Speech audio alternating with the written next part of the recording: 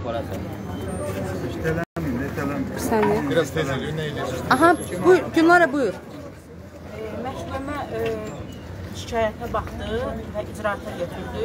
Məni təqsirləndir- təqsirləndirilən şəxs kimi tanıdılar.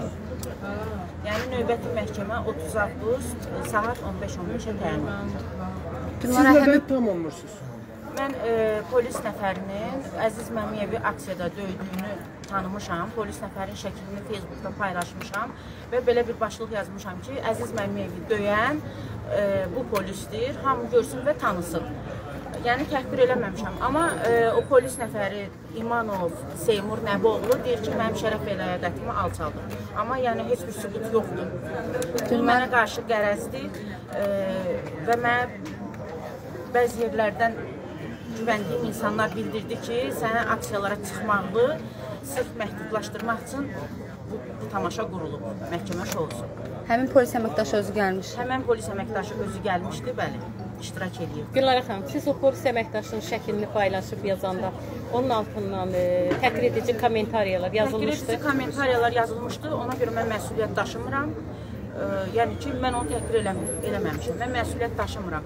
Əgər təhqirə görə məsuliyyət ə, təhqirə görə belə incidirlərsə, onda dəfələrlə bizi sosial şəbəkədə söyüb təhqir eliblər. Elə mənim partiya sədrimi həmişə təhqir eliblər, amma heç vaxt heç bir tədbir görülməyib. Yəni bunu sırf mən siyasi sifariş hesab edirəm özümə qarşı qərəz. Bu qərəzdir, başqa heç nə. Neçənci bəndlərdə 147 48. İkiyə çevirdilər. Və 147 dedin, çevirdilər 147 ikiyə. Siz olan bu haqsızlıqla əlaqədar siz kimə müraciət edirsiniz burada? Heç kimə, mən heç kimə müraciət eləmək fikrim yoxdur. Mən özümü günahsız. Axıra qədər özünü müdafiə edəcəksən. edəcəm, etiraz eləyəcəm. Yəni dayanmaq yoxdur. Yəni bunu e, sırf məni qorxutmaq üçün eləməyiblər. Çünki bilirlər ki, mən qorxmuram. Sadəcə hökumət sübut eləmək istəyir ki, onu qoruyan ölkə başçısı İlham Əliyev e, sübut eləmək istəyir ki, polislərə ki, mən sizi qoruyuram, sizin arxanızdayam, siz məni qoruyun, xalqı yox. Siz belə düşünürsünüz. Bəli, mən belə düşünürəm.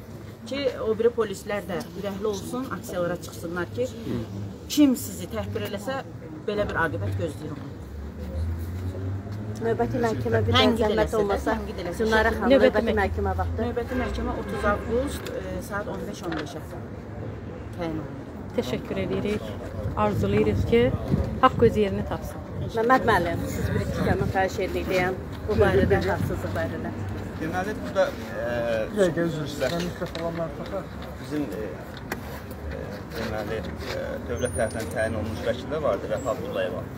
O da orada göstərdi ki, burada heç bir e, təhqir yoxdur, şərəf və ləyaqətin təhqir olunması yoxdur. Burada ancaq və ancaq göstərir başlıq e, paylaşılıbdır. Göstərilir ki, falan kəsi döyən, Əziz Məmiyov döyən bu, bu polisdir. Və burada da bir də Rəfa Abdullayeva bildirdi ki, bu adam gedib onun şəklini xəlvətə çəkib paylaşmır. Bu videolar e, sosial şəbəkədə yayılıbdır. Əgər elə idisə, elə o videonu çəkib yayınları niyə vermişsin məhkəməyə ki, bu adam oradan videodan şəkil götürüb paylaşıb. O deyir ki, mənim bu videonun çəkilməsinə etirazım yoxdur. Ona görə ki, başlığında yazılan söz bunu və şərəf və ləyaqətini tətbiq etdi. Bunun e, kişilər imicinə ziyan vurdu.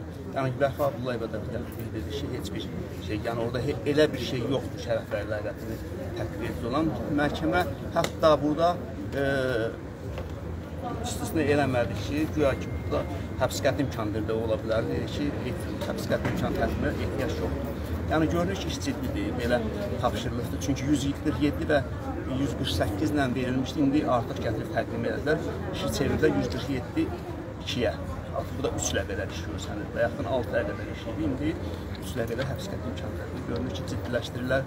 Ya burada həqiqətən ciddi nəsə, ya da ki, göz qorxmaq istəyirlər. Çünki əsas bəli, e, deməli Günara xanımın siyasi fəaliyyətinə, sonra aksiyaların öndə olmasından bağlıdır. Və burada burada polislərin ə, şəklinin yayılmasının, onların zorakılıq edən polislərin şəklinin yayılmasının, onlara ə, xalqın necə deyirlər, qınağının yığışdırılmasını istəyirlər, qorxutmaq istəyirlər ki, yəni kimsə polisin şəklini yayıb onu xalqın qınağına tuş gətirəcəksə, aqibəti belə olacaq, yəni o məhkəməyə veriləcək. Ona görə də e, bunun birinci səbəbini mən onda görürəm ki, polislərin deməli eşitmən dəqiq bunu bilirəm ki, polislərin bəziləri etiraz edir ki, biz çıxırıq, sizin göstərişlərinizi yerinə yetiririk, xalqa qarşı zorakılıq edirik və xalq bizi çox bilir.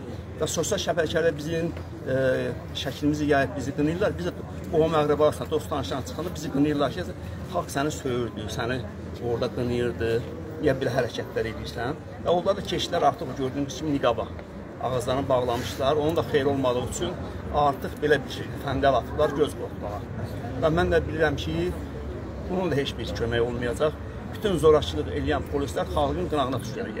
Başda mən olmaqla indən sonra harda zorakılıq eləyən polis görsəm, biraz əsəbləşdim ona görə də mən özüm paylaşacağam şəklini və xalqın qınağına onu tükətdirəcəm. Yəni bunun kömək olmayacaq bunlara. Bilsinlər ki, aksiyalarda xalqa qarşı zorakılıq eləyən xalqın qınağına tükələcək.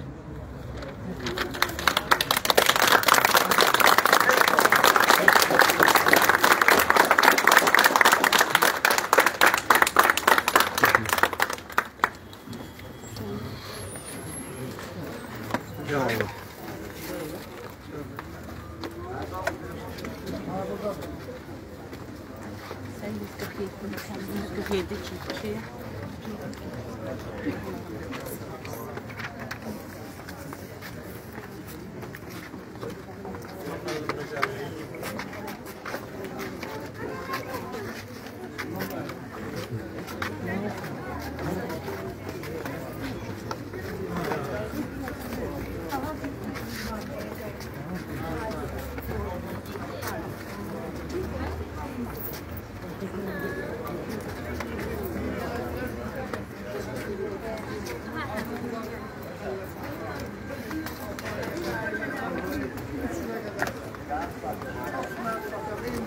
Abidə verdikləri statut. Abidə verdikləri.